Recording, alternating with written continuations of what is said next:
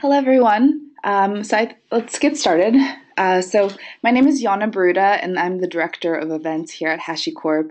I want to welcome you all for joining today's webinar, uh, Eliminating Secret Sprawl Across Your pri- Private and Public Infrastructure Using HashiCorp by Vault.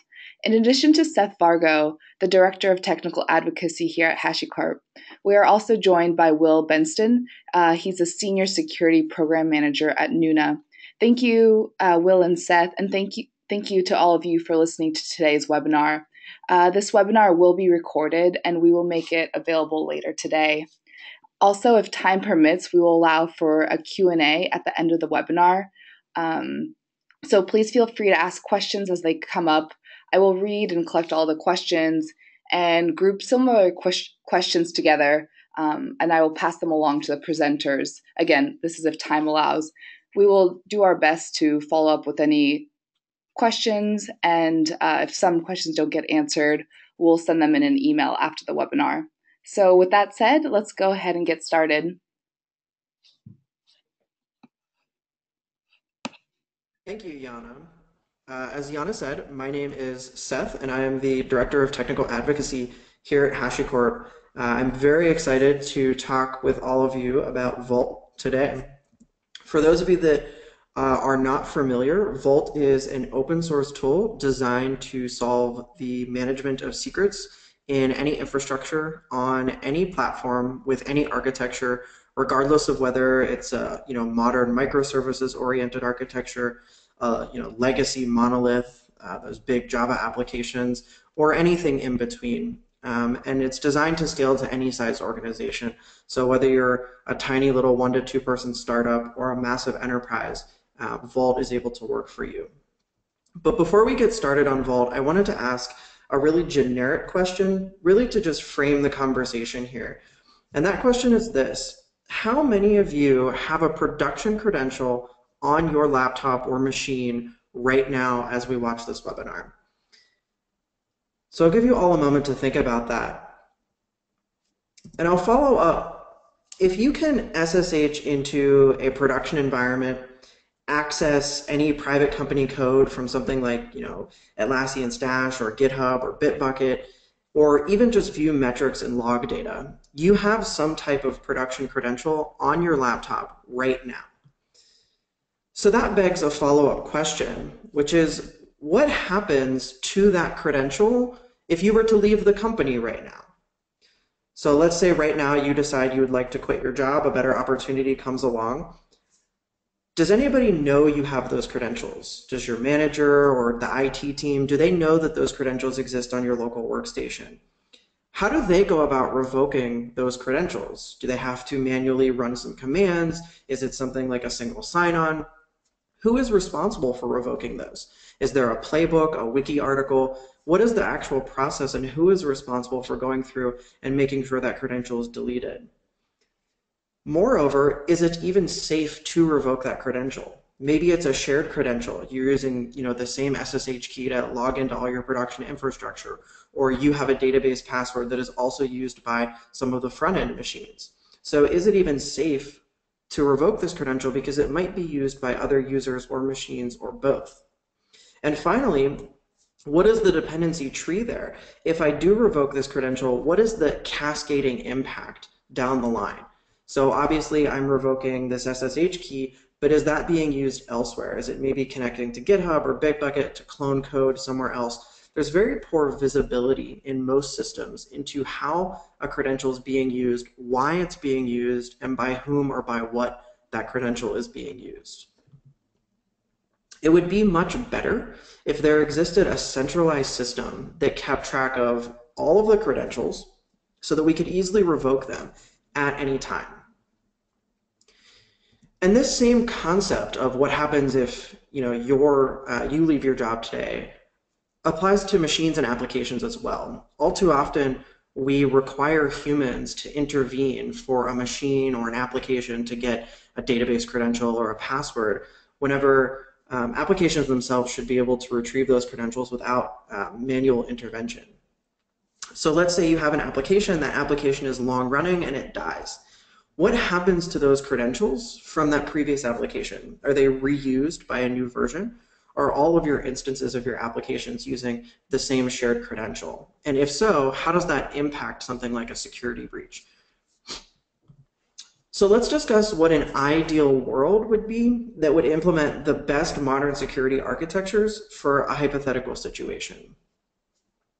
First, we would have a, uh, let's say this is an application that needs to talk to a database. So maybe, you know, a front-end application that has some back-end customer data. We would have a centralized database uh, that contained all of this customer information. And that database itself would be secured. You know, the database administrators would be responsible for securing that the same way um, that they do now. Applications in this scenario need the ability to read and write data, right? There's some front-end uh, GUI that needs both read and write permissions to this database.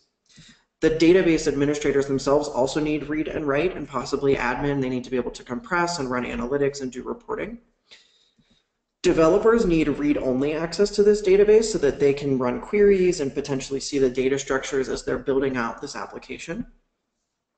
It's important that these credentials are never reused or shared.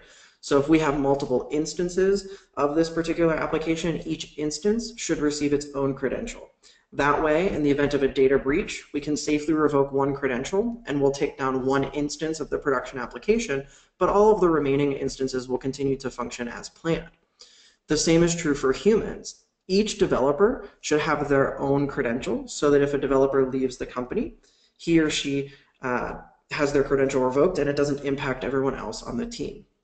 And furthermore, those credentials should not be shared. We shouldn't be using credentials that are generated for humans on the machines, and the machines should not be given, machine credentials should not be given to humans so that they can interact with the system. Unlike traditional passwords where we, you know, we create a user and it's valid for a long time, these credentials should expire after a period of inactivity. And we'll talk a little bit more about that in a bit. But one of the um, core principles of Vault and one of the architecture decisions is that everything has a lifetime. It has a TTL. So unlike creating a password and shoving it in a, a plain text file and it lives forever, the credentials we generate with Vault actually have a lifetime. And this is important when we talk about uh, how secrets are revoked over time so that we don't prevent this massive distribution of secrets and credentials that aren't actually being used.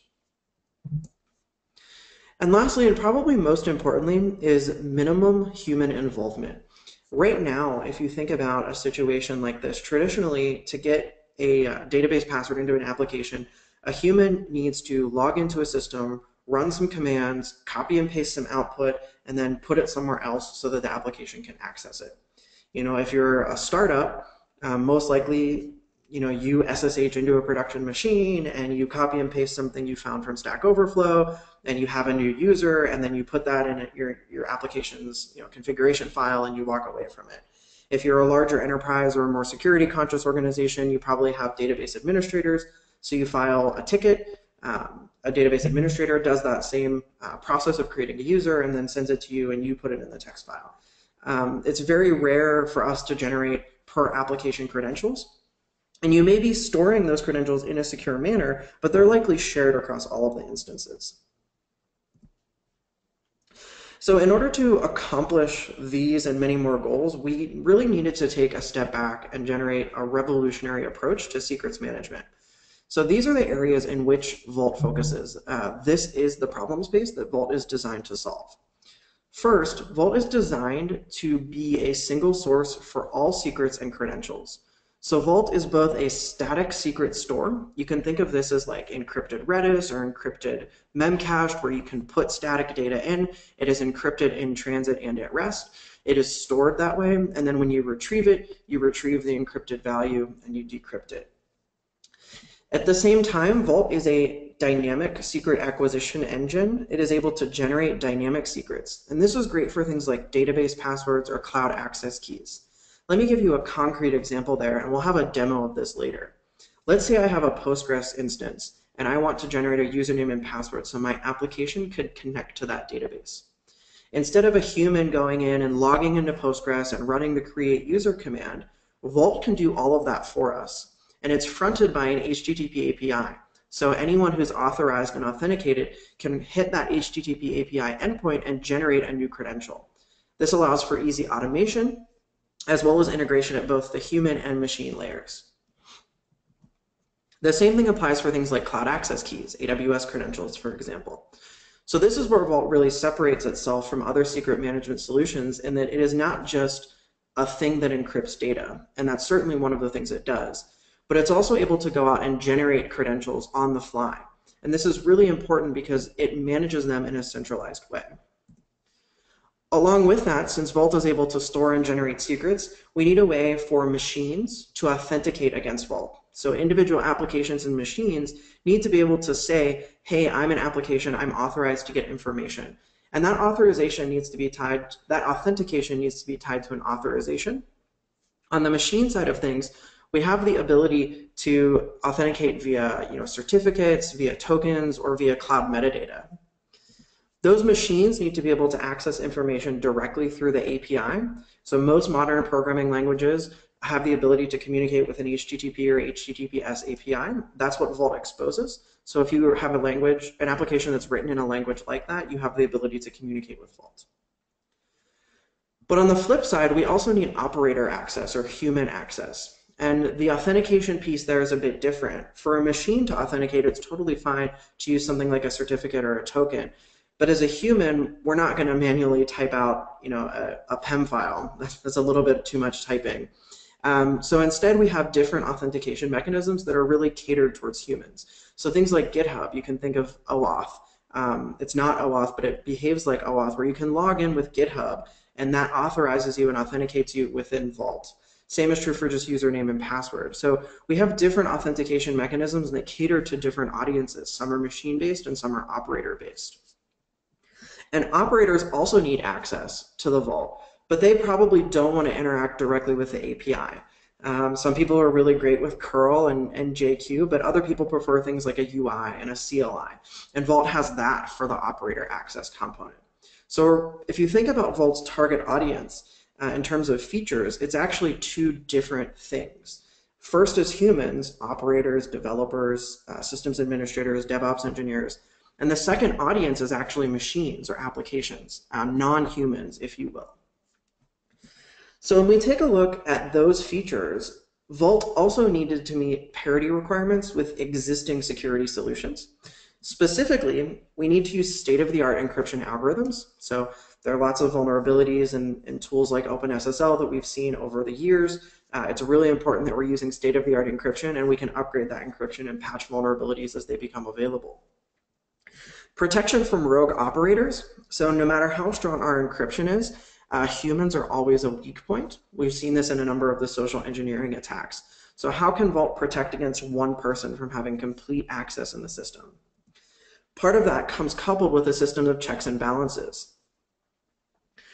Because Vault has a dynamic secret acquisition engine, we really need integration with many different providers, different databases, different key value stores, so that we can go out and interact with these tools because everyone's infrastructure is different they're using different technologies and different solutions, and Vault should really be able to integrate with as many of them as possible. In order to support most of the requirements of any organization, we need a verbose authorization policy and ACL system. For larger organizations, we need to be able to run at high availability and high scale. And lastly, and probably most importantly, is trust in the market. And this is something that's really challenging to address is how do you build trust in a market where the consumer is inherently untrustful? So how have we met those requirements? Well, Vault uses AES 256-bit encryption all across the board. We use something called Shamir secret sharing algorithm, which I'll discuss more in detail in a bit, that protects one person from having complete access in the system. It prevents a rogue operator or a rogue Vault administrator from accessing all the data or uh, leaking all of the data. Our system of checks and balances is, is um, countered by a verbose audit logging and ACL system. So almost every request and response in Vault is written to the audit log. So there is a system of checks and balances. You can send that audit log to any type of anomaly detection system, um, and you can review those logs at any time. There are 30, uh, over 30 backends and um, various custom plugins that you can write and build Vault from source to integrate with. So things from ranging from you know Postgres and Cassandra and MySQL, Microsoft SQL, AWS, um, down to storage backends such as storing data on the file system or Consul.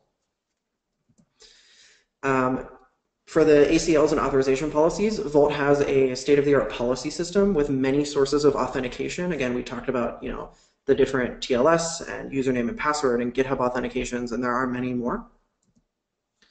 Vault comes with built-in support for high availability depending on your storage backend. So if your storage backend supports high availability, you're able to run Vault in high availability mode. And we have uh, a number of users and a number of customers who are running Vault at uh, incredibly massive scale I can't talk about the exact numbers, but um, they're quite astonishing, the number of requests that they're putting through Vault. Um, so it runs at an incredible scale. Uh, it's written in Go like most of our tools, um, so we're able to achieve a lot of performance improvements from that. And then for trust in the market, it's really difficult to show this, um, partially because a lot of Vault's users don't like to talk about the fact that they're using Vault. Um, we're very lucky to be joined by um, one of our users, uh, one of our customers who was able to talk about it. But part of the security threat model is, is not even sharing what security tools you're using. Um, so we have a number of customers, but we've also coupled that with multiple independent security audits by um, different auditing firms who have identified you know, medium and low level risk things that have all been fixed and patched. Uh, and the latest versions of Vault have all passed with flying colors. Um, so we have that trust in the market with those independent security audits that um, routinely happen throughout Vault's code base. So I want to take a moment to discuss the Shamir secret sharing algorithm, um, both because it's a complex topic, but also because it's one of my favorite components of Vault. Again, the Shamir secret sharing algorithm is the piece that's designed for protection from rogue operators to prevent one person from having complete access in the system. And it looks a little bit like this. Shamir's secret sharing algorithm is a mechanism by which we take a key, or a string, if you will, and we break that string apart into a number of sub-pieces or sub-keys, such that a subset of those keys can come together to recreate that key. So let's take a concrete example. Let's say I have a string ABCD. If I could somehow break that apart into five pieces, such that I could apply a transformation function to three of those pieces and regenerate ABCD, then I have Shamir's secret sharing algorithm. And it's challenging to think about this in terms of you know physical strings. Um, but actually, the algorithm is is real. It's on Wikipedia. You can check it out yourself. Um, but it's designed to split a key into a number of shards that are configurable and then distribute those shards securely to various people in the organization. So how does this solve that rogue operator problem? When a vault is first initialized, Vault generates an encryption key. That encryption key is what is used to encrypt all of the data at rest on the system. So if you're using the file system storage backend, that encryption key is what's going to encrypt that data as it's stored on disk. That encryption key itself is encrypted in Vault. It's stored in its own encrypted backend, but it's encrypted with something that's called the master key. And that master key only ever exists in memory during Vault's initialization process. Once that key is created, it's immediately split apart into a configurable number of shares, and those shares are distributed to various people in the organization. When we bring up a new Vault instance, or whenever we unseal the Vault, a subset of those users, again, which is completely configurable, have to each enter their key in order to regenerate the master key to decrypt the encryption key so that the data can flow through Vault. If you've ever seen a bank unlock a vault, a big physical vault, oftentimes the bank manager as well as an employee both need to insert a key and turn them at the same time in order to un unlock the vault. The Shamir secret sharing algorithm works the same way, but it's much more uh, cryptographic and mathematical instead of physical.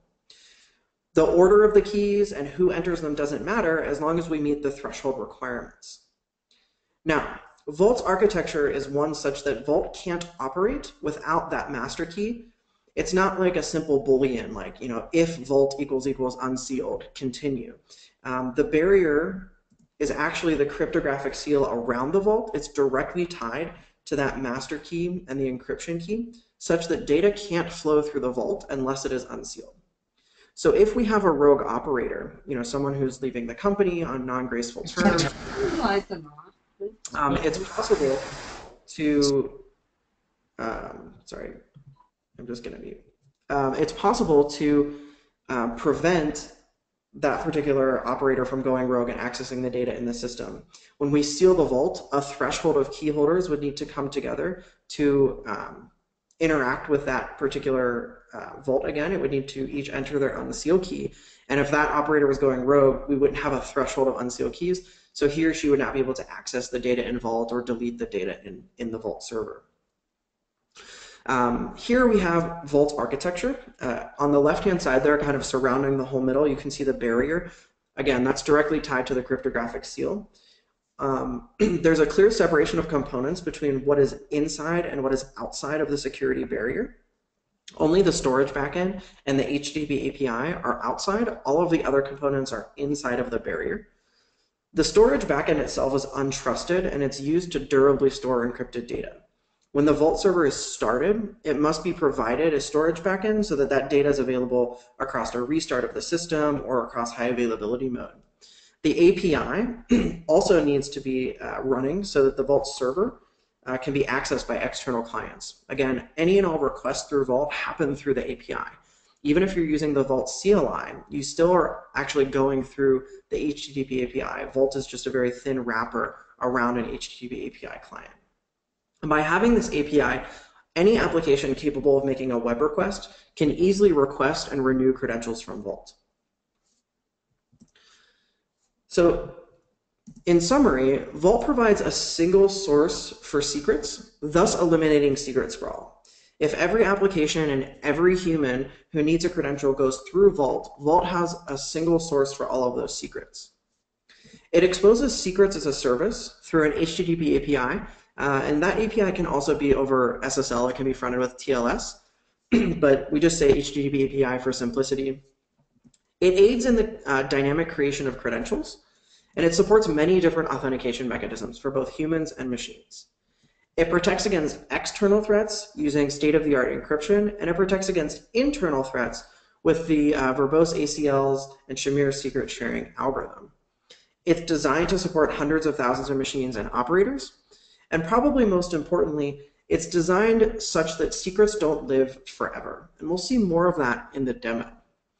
But now I'd like to hand it over to Will from Nuna Health. As I'm sure you're aware, healthcare is one of the most tightly regulated industries around the world.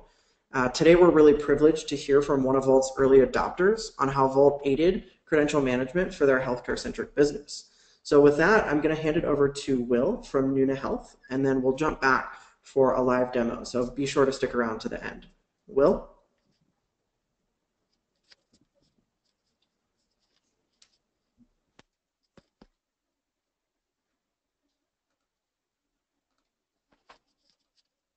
Great. Thanks, Seth. So as uh, Jana mentioned, I work for a company called Nuna. Um, but who are we? We are a healthcare data analytics company tackling one of the United States of America's biggest problems. Um, what does quality in healthcare actually mean? And what should the true price of healthcare actually be? We do this by gathering, learning, and improving with our customers. Uh, we gather, standardize, and structure our health and wellness data in a secure cloud-based home. We understand your population, partner with our team of data scientists and researchers to ask the questions and understand the answers. We help you understand what's working, we get rid of what doesn't, and we make changes that benefits everyone. So we do this with a team of data scientists with specialties in biomed biomedical informatics, health economics, and epidemiology. Our data scientists take on the challenges, especially when they can combine their expertise and help you ask and answer the big questions that you're looking for being that Nuna sits in the healthcare space, and we're trying to take on one of the largest data sets in the U.S., Medicaid with more than 73 million lives, security sits at our foundation. It's truly a part of our culture and our products. We use modern tools, engineering techniques, and processes in the security business to keep your information safe. So what challenges are we actually facing? Due to the industry we operate in, we face many, many challenges in compliance. We must be HIPAA compliant. We have to adhere to the acceptable risk safeguards.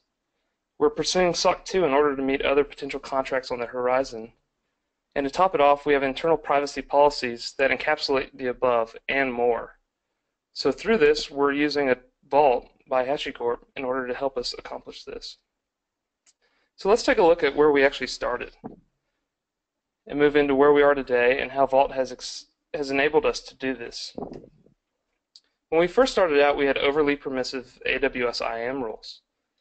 We had static secrets only, so once we wrote a secret, we had the secret, never was changing. We used KMS for storage. We actually ended up writing our own tool around KMS in order to enable our users to utilize KMS for secret storage. The problem we had was everyone had access. Everyone had access to every KMS key, so everyone had access to every secret. It was truly a hard problem to solve. We had database passwords and accounts that were controlled by the users. Users were actually cloud forming their databases themselves and setting the default passwords. When we took a step back and analyzed what these passwords were, we noticed that they were all weak. Um, our users weren't educated in actually creating cryptographically secure passwords, um, and once again, everyone had access to everything. So we also had individuals having access to root, which we flagged as a big problem as well. We found that we had wildcard certificates deployed internally uh, to make SSL and TLS communications easier, and we decided that we wanted to fix that as well. Uh, and most importantly, we had instances with debug keys owned by particular users. So as Seth mentioned, what happens when a user goes away?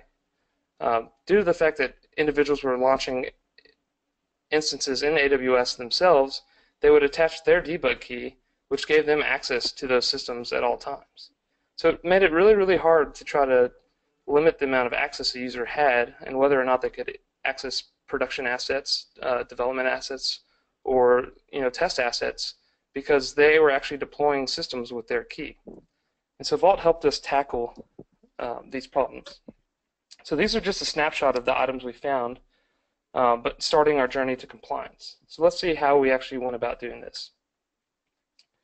We decided to take a step back and be secure from the beginning. And Vault helped us do this and became our key tool for us, sitting internally and having all systems operate off of Vault. So we operate 100% in AWS, and we have Vault deployed as a high availability system with three Vault servers, three Consul servers, all being backed behind an ELB. So if we take a look at this a little bit more, we have three Vault servers um, that are set up at the same time. And if you're familiar with how high availability in Vault works, you know that you only have one vault active at once with the remaining nodes in your server cluster uh, in standby. We decided to go with MySQL as our backend for storage due to the fact that we want, really wanted to have a stateless uh, system.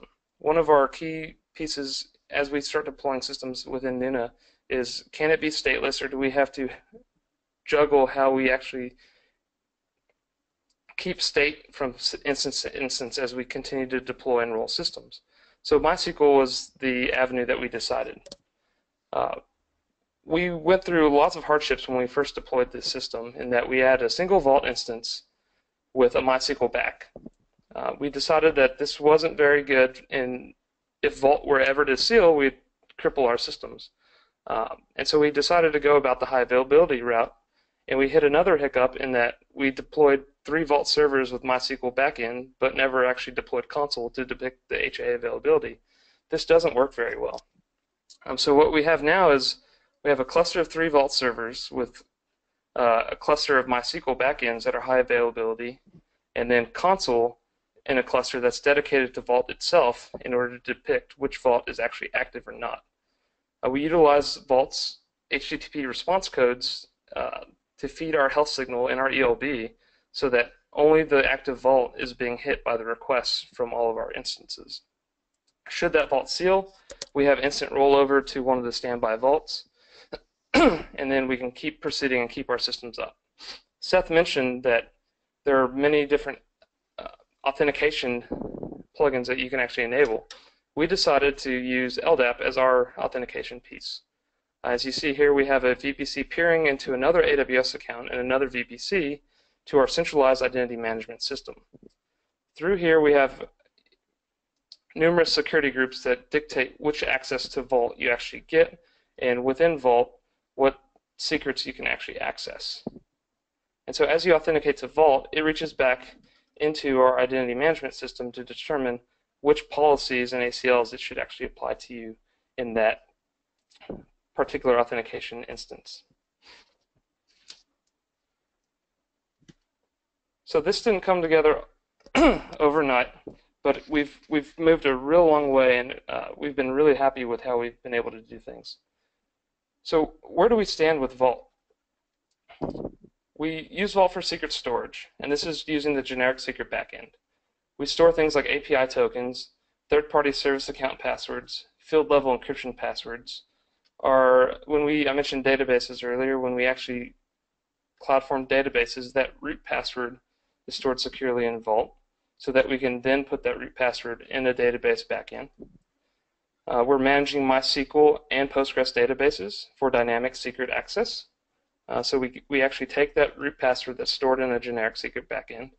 We configure our database password, uh, MySQL and Postgres backends, to hand out dynamic user username and passwords to our users and services that need access. One of the really key benefits here from a compliance standpoint is that we have to guarantee that all of our users connect securely to our databases. Because all of our users and services are getting database passwords from Vault, we actually can control the, the grant statements within those mounts on Vault. So we can guarantee that we use require SSL on a MySQL grant statement, for example. So when an auditor comes in, we can show them that when a database user or a, a user at Nuna needs to get a password to a database, that username and password that's returned to them has the proper access levels and requires a secure connection to the database. So this helps us guarantee that connection and meet that part of the compliance. We use SSH backend as well. Um, this is mainly being used as our debug key management by Vault. I mentioned earlier that all of our users were deploying with their own debug keys. Um, so now we're able to actually deploy our auto-scaling groups with a debug key managed by Vault. Now we have other means for our users to SSH into our systems, but should those means fail us through our identity management backend, we can actually get a debug key from Vault. And Vault will enable us to get a local presence on that machine so that we can actually debug it. Hopefully we'll never need to use it, but it's there in case we have to. I mentioned wildcard certificates. So what we've actually done is uh, implemented the PKI backend as well. And we've actually implemented three mounts of that PKI backend. We have a prod, dev, and test mount. so what this has enabled us to do is separate our prod, dev, and test environments completely, not just from a VPC or security group level, but also at the TLS level. So if you're a prod server and you need a certificate for your front end or you know service, you actually get a prod certificate from our prod CA. Um, then we install that public chain uh, on our system, and then you can systems and services can talk to each other correctly. If you're a dev system, you do the same thing, but off the dev mount. Uh, but this what this enables us to do is if a dev instance tried to talk to a prod instance, and we had a jumble in security groups that allowed that to happen by accident, uh, that connection wouldn't actually complete because of the different CAs, certificate authorities, actually issuing those certificates. So the dev instance won't trust the prod certificate authority and vice versa. I mentioned authentication. We use the LDAP backend uh, with Duo for authentication for our users. Um, different accounts will lead to different access levels. Um, but everything is backed by the Duo authentication, which makes it really nice uh, for us. And then uh, since we're 100% in AWS, we've taken advantage of the AWS EC2 instance uh, authentication as well. And we've put code in place that all of our instances, as they boot, are automatically bootstrapped and authenticated to Vault based on their IAM roles. we're also utilizing the AWS mounts to manage our IAM for multiple users and projects. Uh, one of the nice things here is you can mount multiple AWS backends and control AWS credentials across multiple accounts.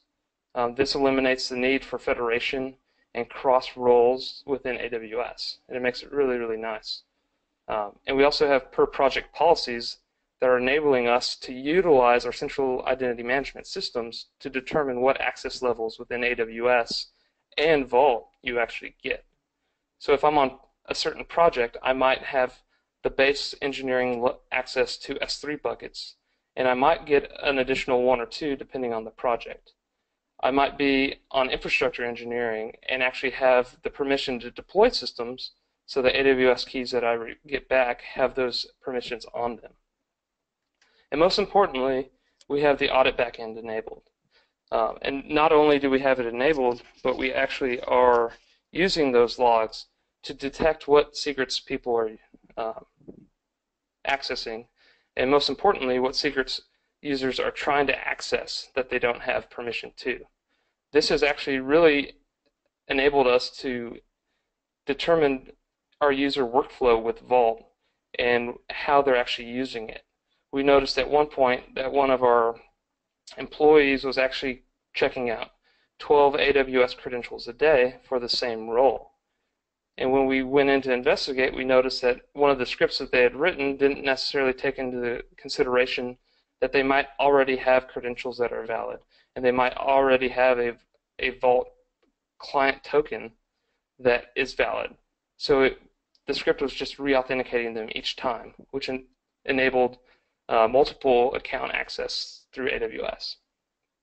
Um, one of the things I mentioned, or I should have mentioned when I was going over Vault architecture, is due to the fact of the high availability ness of Vault and the way that we've deployed it, is we can actually do blue-green deployments and deploy an entirely new cluster of Vault that joins the same Vault cluster. So if we were to have our initial three Vault servers running, and we want to roll those on a monthly basis in order to get um, our Linux patches and everything, or potentially upgrade Vault as new versions continue to roll out. We could actually spin up another three Vault servers, unseal those, then we can go through the process of resealing the other three Vault uh, that are currently running, and this will kick all those standby nodes off, and then our new cluster is actually uh, becoming active, and we can use those, and then we can delete the existing Vault servers. So the high availability mode allows you to do patch management and run an immutable infrastructure uh, without losing access to Vault. So it didn't come over together overnight what did we do? How did we learn from it? I mentioned some of the MySQL stuff that we, you know, had assumed and kind of bit us over the end. But how can you get started and not make the same mistakes that we did? So some best practices. Turn on the audit backend. And most importantly, please do not log raw. What we found when analyzing the logs is when you actually log raw, you're logging everything raw in plain text to your disk. So if you have some sort of centralized logging infrastructure like Splunk, um, usernames and passwords are actually going to be logged to that as well. So be aware what you're actually turning on when you're auditing the back, when you're looking at your audit backend logs. And most importantly, uh, excuse me, investigate and look at those logs. It doesn't make much sense to actually turn on your audit backend log without actually looking into them. Have a development environment ready. Um, it's very important, especially as you're moving from one version of Vault to the next, to make sure that you understand the changes and have an environment that's safe to make those in. If you're wanting to know what a new or investigating a new backend within Vault, you might also want to play with that in your development environment. And one of the things that I do is I actually have a local environment, which allows me to play within Vagrant or locally on my Mac system with a Vault system with a Vault server myself. And on the next screen, I'll actually show an example of a simple Vault configuration file, which would enable you to have a local development environment on your system. Um, Vault has a nice dev environment which runs in memory, but it's nice to have one that's local, saved to a file, so that you don't have to reconfigure it every time that you spin it up. Keep up to date with the latest versions, if it makes sense for you. read through the change log, and make sure that what has changed isn't going to break anything that you currently have. Uh, depending on how you have your LDAP structure, I think it was moving from version 6.0 to 6.1, there were some breaking changes depending on how you might have had LDAP set up. And so it was important that we took note of the breaking changes and tested in a development environment before. And most importantly, make sure you look for security updates. HashiCorp is very good at making sure that their products are secure, and if any security uh, vulnerability is found, that they patch those immediately. And like Seth said, they have external people audit their actually their code in order to make sure that they're delivering a strong product to you. Um, so if you need an update for security patches, I recommend doing that. Their changelog is available on their GitHub Vault project. Uh, one thing I recommend also is joining the Google group. It's been a great resource when I don't know something, and uh, the Vault main engineer, Jeff Mitchell, is very, very active and gets back to you really quickly. I've been impressed with how many responses I see from him a day and how quickly he's been able to do so. Uh, if you aren't a member already, I suggest that you go to join the Google group Vault-Tool. Uh, one of the most important things and what we didn't really understand correctly off the bat was what does TTL and max TTL actually mean for your team? Uh, there's a default TTL and max TTL when you spin up Vault yourself. Um, this has changed over time as well, so that's something to note. But you can configure that in your Vault configuration file to set a TTL and max TTL that makes sense for your company. And most importantly, what happens if you don't renew within that TTL period? One thing that we didn't really understand uh, off the bat was that we actually had to do a Vault token renew, or our dynamic credentials would go away. So we had some services that were running and they didn't have a job that or a you know binary that was managing their token for them. And we found that their database credentials were getting revoked. And when looking into that, we noticed that okay, the client token wasn't being renewed. That's our problem. But what makes sense for us in this service? How often should they renew? Uh, what should our max be? Uh, you know, those are the things that you should understand and play with to get to determine what's right for your industry and most importantly, your company. Uh, one of the nice things that Vault has actually allowed us to do is when you create a dyna dynamic secret, you get a revoke path, which allows you, on a, as a security engineer or from a, you know an infrastructure engineering team, if you accidentally grant a uh, dynamic secret or you know a user has checked out AWS credentials from Vault and then they've notified you that over lunch their laptop was stolen from their car, but you know that your TTL was 12 hours for the AWS credential. You can actually go in and issue a Vault revoke on that path and delete those dynamic secrets. So what this actually allowed us to do as well is test out connections to databases on products that we do not own and host internally. And this allowed us to understand what products are actually having a consistent or persistent connection to databases. We'd, we'd issue a, a Vault database password uh, for MySQL to uh, a product, and then we would revoke it and notice that the product was still working. So if the product does that, you know, it doesn't make it, it alleviates what the benefit of the dynamic secret is. So you have to understand your environment understand the MySQL and put protections in place beyond what Vault can do for you as well. Vault takes you all the way there, but sometimes it doesn't get you all the way due to the fact that other software are doing things in a not ideal way. So most importantly, make it easy for engineering to take advantage. Uh, this reduces friction as you roll out the new secrets management if you're just rolling Vault out. Make sure that your users can understand how to use it. Uh, Vault Enterprise has a lovely UI that makes it really easy to explore secrets, write secrets, uh, write policies, things like that.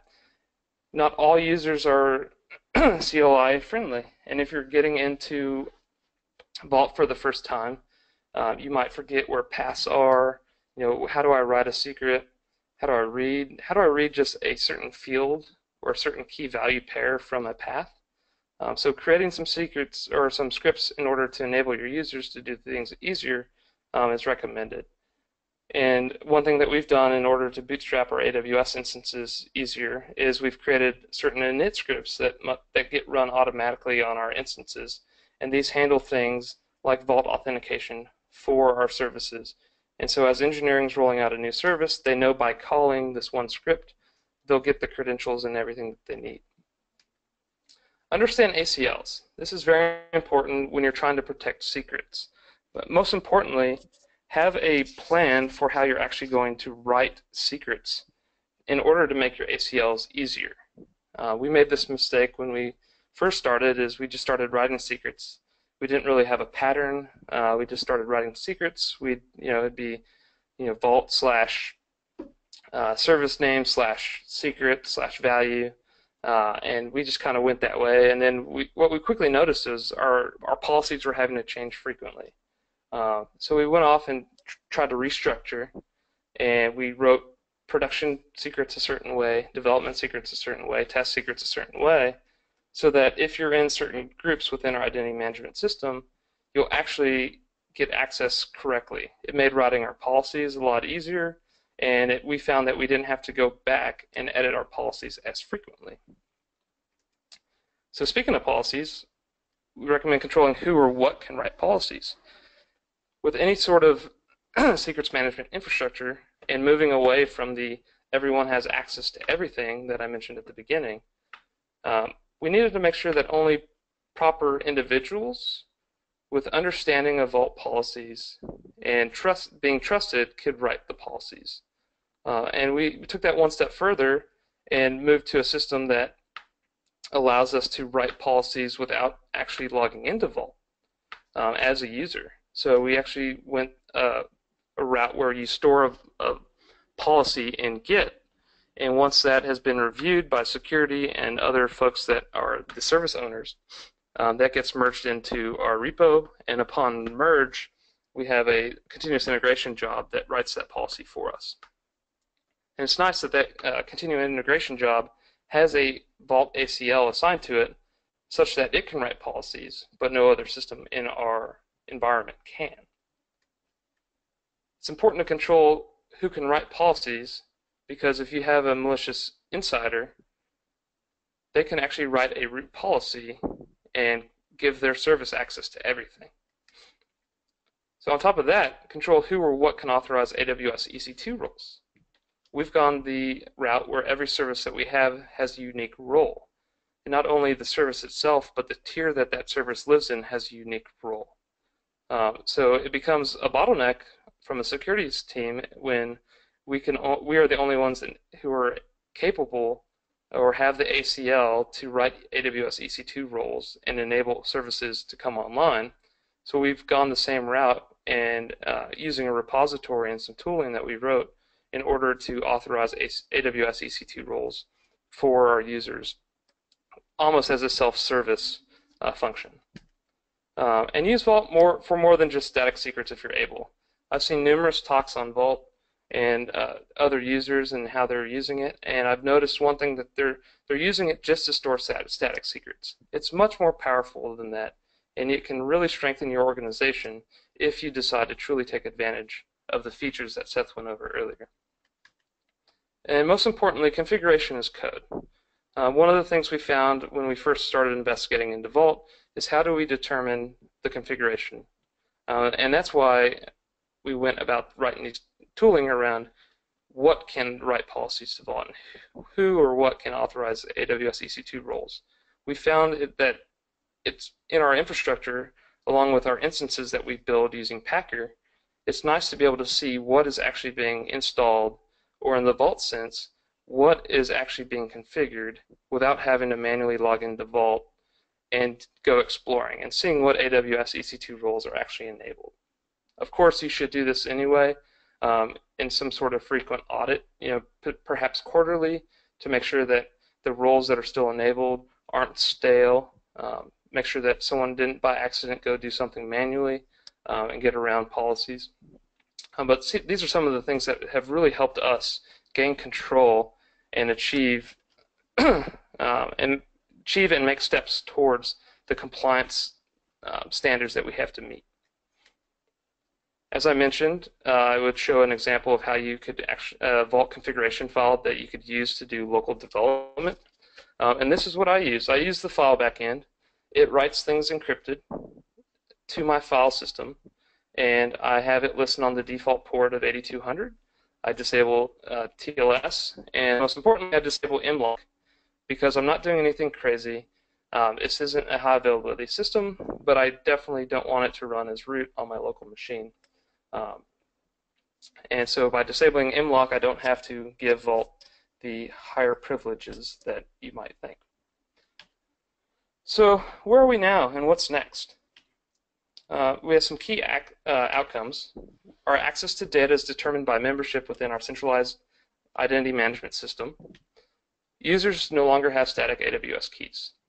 Um, or users are moving away from static uh, AWS keys, I should say. To date, we've had over 2,000 plus dynamic AWS keys within our engineering department, which is kind of amazing when we took a look back at our key management within AWS before, we found that once a user got a static key, um, you know, be it that it had MFA applied to it, we found these keys were never rotated. Um, so people that had been at the company for two years had had the existing AWS keys assigned to them. Their access and secret keys never change. Uh, it enabled us to have cross AWS account access um, and enable users to have that easier. Uh, we don't just have one AWS account at Nuna. And so this allows us to mount multiple AWS backends within Vault to provide people access and most importantly a centralized place to get that access. No longer are they having to assume roles. Uh, when we decide to create a new AWS account, we don't have to create federated roles across accounts in order to enable access, and it's allowed our users the ability to access other accounts and do their work easier. The AWS EC2 authentication has been key to enable our services to gain access to the secrets that they need in order to bootstrap our instances and kick those services on. KMS is only used with native resources now. Native resources being S3 server-side encryption, volume encryption, etc., um, RDS encryption. There is one caveat to this in that we actually use the original tool that we wrote around KMS to store our Vault and Consul encryption secrets uh, and the root database password of our Vault backend. Um, due to the fact that Vault's not running, so how can we access those uh, keys if Vault's not running? So what's next for us? Uh, we're going to continue to build out our tools to make adopting Vault easier. Now, I mentioned two things that we're doing, but there's other things that we want to do, uh, so we're exploring those options as well. And one thing that we're trying to do is investigate the transit backend a little more, gain a little more understanding of how it can enable us to further protect the data that we hold and make things easier for our developers. You know, having a tool like Vault that has encryption as a service through the transit backend is something that's really powerful and could strengthen the tools that we're writing. And so, enough theory. Let's uh, pass it back to Seth and have him walk you through some demos.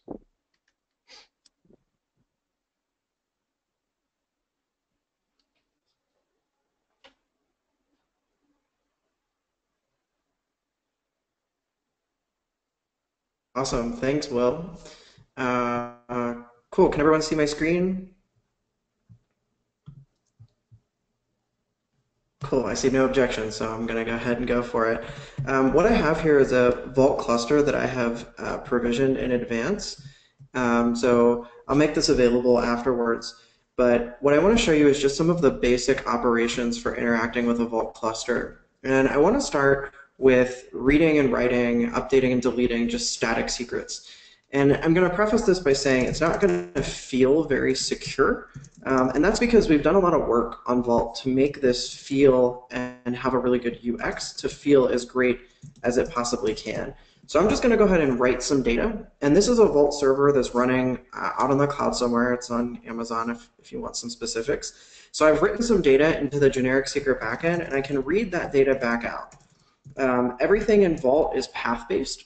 so secret slash foo is a path, just like a URL path. And you can see that I get the value that I've inserted and a refresh interval. We'll talk more about refresh intervals and leases in a second. I can also update existing values. So if I were to write to that same path with a new value, and these are just a series of arbitrary key value pairs, I can go ahead and write that. And when I read that value back, I'll get both author and value. It's also possible to list. So I can list everything under secret, and you'll see I get two keys, uh, foo and webinar. So static secrets in Vault solve the majority of the problems, but it doesn't give us the ability to do like per node or per machine secrets. Um, those credentials there actually have an infinite lifetime. They have a hint of a refresh, but they do live forever. Uh, and there's a requirement that an operator actually goes and inserts them. I have to type vault write you know, secret foo with the value in there, which means a human knows a password, uh, which increases the surface area for attack there. Vault can also act as like the root or super user for many databases and external services to dynamically generate subaccounts based on a configured policy or role. So let's take a moment to look at AWS. Let's say you're a developer and you need access to communicate with AWS APIs for your application or to run a console command locally. Normally, someone with more privileged access has to log into the AWS console, click a bunch of times, create your credential with the proper permissions, and then somehow securely distribute those access keys to you. Maybe they PGP encrypt it and send it in an email, or they you know, DM it over Slack. this is troublesome because it requires uh, two people to take time out of their day to do this, and also the original person who created that credential has access to it. So we don't have true provenance. We can't guarantee that when that credential is used, that it was used by the owner. There's not a one-to-one -one relationship there. With Vault, we can automate the policies and configuration automatically. We give Vault a privileged set of AWS account permissions and the instructions, the IAM policy and role, and then Vault will automatically generate credentials for us. So developers authenticate to Vault using you know, GitHub or username and password. That's mapped to an authorization. If they're authorized, they can programmatically generate AWS credentials that are tied to a pre-configured IAM policy without human intervention. So let me show you what that looks like. I should be able to read um, AWS Creds developer. And here you can see I got an access key and a secret key back. And um, they're valid for 30 seconds, so they have a very short lifetime. But this is an actual AWS secret key and um, access key that could be used to query the API. so based on this process, and now that it's codified, there's very little room for human error. Additionally, this path can be tightly restricted with ACLs, and those ACLs can be mapped to policies. For example, you can say anyone in the engineers team of the HashiCorp GitHub organization can generate AWS keys, or anyone in the OU devs in the company LDAP server can generate credentials. And we can generate multiple credential backends. I could have a credential backend for um, you know, application that has slightly less privilege. And those are all tied to customizable IAM roles. So acquiring AWS credentials is mostly a human-based operation, but we can take a look at something that's more machine-based, such as generating Postgres credentials. So I'll go ahead and do that now. you can see it's the same process. We read from PostgreSQL creds read-only. This is going to actually uh, have Vault connect to a Postgres server that I've configured ahead of time. Vault makes a connection to Postgres, runs configurable SQL to create a user and grant that user permissions that I have defined ahead of time, and then returns a username and password. So this username here and this password here are actual credentials that you could use to log into this Postgres instance. Each time we read from this path, we'll get a new username and password. Vault connects to the server, does that whole um, process. These credentials are valid for two minutes. After two minutes, if they're not renewed, they expire. That means if our application goes down for some reason, or if it's restarted and it gets a new credential, our surface area for attack here is two minutes. After two minutes, these credentials will no longer be valid. But if the application is still using these credentials, it can renew them uh, using uh, the renewal process, which unfortunately we don't have time to get in here today, but it's documented on Vault's website. All of these CLI commands that I'm running here are actually just a mask around the API. Almost all interactions take place via the API. So here is a curl command that does the exact same thing that I did earlier, which is reading from PostgreSQL creds read-only, but instead of using the Vault CLI, it's using curl, which is a uh, popular tool for making HTTP requests on the command line. And you can see here I get a JSON response, and there's some additional data in this JSON response that wasn't originally contained in the Vault CLI. We get some additional metadata. You can see there's a username and a password directly in this payload. So if your application can make an HTTP request and parse JSON, you can interact with Vault. It's a pretty low barrier to entry. Um, pretty much every modern programming language has the ability to do this. If it's not built into the core library, there's some plugin or external library that can handle it for you. Uh, and this includes things like Chef and Puppet, Ansible, Salt. These configuration management tools, they have the ability to communicate with Vault because it's really just an HTTP or HTTPS request away. So we're running short on time. Um, I find demos aren't exciting unless you're involved too. So up until this point, I've doing, been doing everything as um, you know the user, and you're sitting here listening, and we're reaching the end of an hour, and you're probably bored. So I figure it's time for you to interact with this. So I've actually gone ahead and set up a public Vault instance. So if you head over to vault.hashicorp.rocks forward slash app, you'll be taken to a page like this. So that's uh, vault.hashicorp.rocks forward slash app. See if I can do this. There. Vault.hashicorp.rocks forward slash app. And from there, uh, you can get more information about Vault and Vault Enterprise, which Will was talking about, that uh, the open source tooling and then the UI on top of it. But you can also click this Get Vault Token button, and this is a real Vault token. This um, this is a little JavaScript thing that I wrote that is actually querying a Vault server. It is generating a token, and this token has the ability to read from a particular path, and it has five uses. After five uses, it'll automatically expire, and it's valid for a very short period of time. I give you a curl command that you can use. So here's a, a curl command. I'm just going to copy that, and we'll jump back on my local laptop here. So this is my local workstation. I'll go ahead and paste that. And you can see I get a response back. This is querying a public Vault instance at vault.hashicorp.rocks over TLS. Um, and I'm getting back the uh, secret message, which is uh, thank you for attending today's webinar. So I'll leave this up for a little bit. You're all welcome to play around with it. Um, just a very basic uh, interactive thing. If you're interested in learning more about Vault or working with Vault, on Vault's website, we do have an interactive demo. Uh, if you launch the interactive tutorial right on vaultproject.io, it'll take you through a number of uh, different steps and configurations for Vault and the Vault website is also the easiest place to get started with all of the documentation, uh, community resources, and uh, downloads. And with that, I'll hand it back over to Yana to close out the webinar. Thank you. Uh, thank you so much, Seth, and thank you, Will. Um, so we're so grateful that you are you were all able to join. Uh, as we said in the beginning, the webinar was recorded, and we will make the recording available probably in a couple of hours you know, since we did run out of time for questions, we'll answer the questions offline and then we'll send everyone an email uh, with the answers. So thank you so much for joining and have a great day.